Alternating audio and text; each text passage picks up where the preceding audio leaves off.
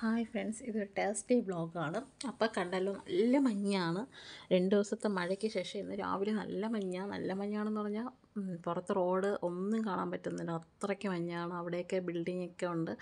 ഒന്നും കാണാൻ പറ്റില്ല. ഫുള്ള് മഞ്ഞ് കവർ ചെയ്തിരിക്കുകയാണ് വണ്ടികളൊക്കെ പോകുന്ന സൗണ്ട് മാത്രമേ കേൾക്കൂ പിന്നെ ഒന്നര അതൊരു വണ്ടി പോകുന്നുണ്ട്. അല്ലാതെ അല്ലെങ്കിൽ റോഡിലെ വണ്ടികളൊക്കെ നന്നായി കാണാൻ പറ്റുന്നതാണ്. ഇത് കാണാൻ പറ്റുന്നില്ല. ഇപ്പം മണി ഏഴ് മണിയൊക്കെ ആയിരിക്കും.